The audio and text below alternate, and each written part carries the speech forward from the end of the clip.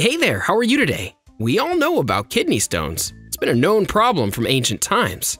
There have been many studies conducted on the problem. It's often a silent killer, biding its time till it's too late. Luckily, there are many symptoms that we can pick up if we pay enough attention, from changes in urine to nausea. In this video, we're going to talk about the signs that indicate you have kidney stones. Let's get started. Number 1. Feeling exhausted. When our kidneys don't function properly, our entire body starts feeling the drawbacks. One of the first problems you'll face is exhaustion. Even if you haven't been involved in too much activity, you'll find yourself getting very tired. It'll also leave you confused and depressed as you won't be able to understand how you're getting so tired after so little activity. Well, the answer is fairly simple. When our kidneys get infected, there's an accumulation of toxic particles in your kidneys that are unable to leave your body.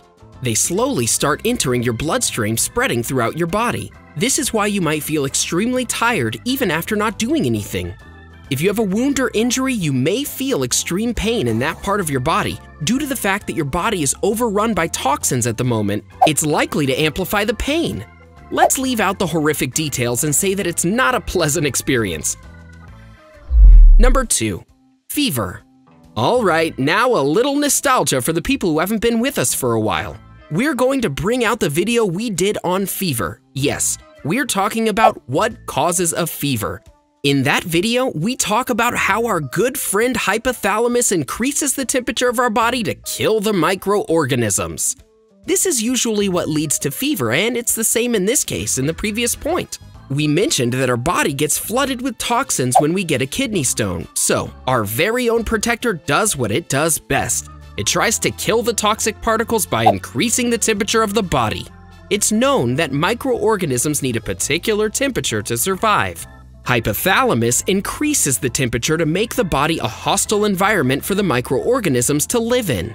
Though hypothalamus alone may not be able to save you from this disaster, this is why we have doctors. Number 3. Pain in the abdomen region. Imagine a sewage pipe that helps to get rid of toxic wastes from building up in the dump. When things get stuck in the sewage pipe, it gets blocked and can no longer perform its fundamental functions. It's the same when you get a kidney stone. Of course, there's one exception to this. What is that? Well, unlike your building, you have something called a nervous system, which acts with other sensory organs and helps you identify a feeling known as pain. Yes, when your kidneys are blocked with kidney stones, you feel a lot of pain in your abdomen. If you're unlucky, you'll also feel it in your groin. The pain may intensify if the stones start moving. Eventually, they'll get stuck in the narrow ureter, and you know what that means. Pain, pain, and lots of pain. It'll create a lot of pressure on your kidneys. Number 4. You feel nauseous. Your gastrointestinal nerves are linked with your kidneys. What does that mean? It means when you have kidney stones, your digestive system won't be functioning at an optimum level. So expect issues you would normally face when you have an upset stomach, including stomach pain, weakness, and nausea. Yeah, you heard that right. You'll feel nauseous and you may even vomit a few times because of this.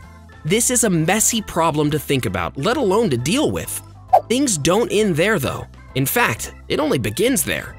In case you don't get medical help, this problem will only get worse. You can end up with an infection and not to mention a lot of pain. This is why we give so much emphasis on seeking medical help. Something like a kidney stone shouldn't be taken lightly anyway. Number 5. Problems with urine. Urination and excretion are basically your body's way of keeping the system clean. These two processes help to dump out the toxic waste and make sure the body is clean and fit to function. Unfortunately, now that your kidney has been affected, the process of urination will also get affected. There are many ways you'll be affected. For starters, you're less likely to urinate, much as you were previously capable of.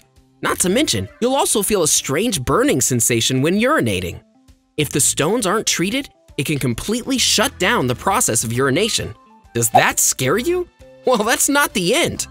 The color of urine will change and the amount of times you'll urinate will also increase. This occurs because the stones in the kidney start moving closer and closer to the bladder. Because the stones are stuck in the kidneys, it can cause some damage in the urinary tract. If that persists, you can expect to see a little bit of blood in the urine. Number 6. Lower back pain. Once again, it's the nerves at play. There are nerves that connect one part of our body to the other. Your kidneys are also connected to the muscles of your lower back. So when you have kidney stones, you may feel a little bit of pain in your lower back. Sadly, kidney stone pain is often sudden and the intensity varies from time to time. Your ureters contract as they push the stones out and that doesn't necessarily help with the pain.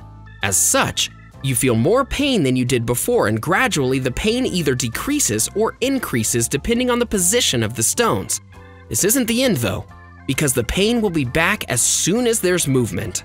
In some cases, it may not only affect the lower back, but areas to the side of the lower back. Just make sure that you've visited the doctor and inform them about your symptoms. They'll most likely ask you to go get an MRI or an x-ray. This is mainly because of the fact that you get a lot of these symptoms due to digestive problems. Oh wait, we aren't done yet. Number 7. Smelly urine. Yes, we know we should have covered this point when we were talking about the problems with urine. Due to the fact that there's so much information on this, we thought it would be a better idea to keep it as a separate point. As you might have seen, healthy urine neither has a color nor any type of odor. If your urine has a strong smell, then chances are either your kidneys have been affected or there's some issues with your digestive system. In a study of more than 300 patients with kidney stones, it was found that about 8% of them reported to having one or another form of infection in their urinary tract. That's not all though. Women with kidney stones are more likely to have a urinary tract infection. This is quite ironic considering the fact that most patients with kidney stones are usually men. This also raises the question, what causes the smell in the first place? The answer is rather simple. The bacteria present in the urinary tract that have caused the infection is also responsible for the smell. It's also the same thing that causes a cloudiness in the urine that isn't seen in the urine of a healthy person. Once again, everyone, take care of yourself. If you do, then you won't have to deal with this problem. In case you are in a condition where you're faced with this problem, make sure to seek medical help. Oh, and considering that kidney stones are usually salts and minerals, you can probably cut down on your sodium intake. That'll probably help. Do you or anyone you know have any of the symptoms that we mentioned? Do you know anyone with kidney stones? Let us know in the comments. We would love to hear from you.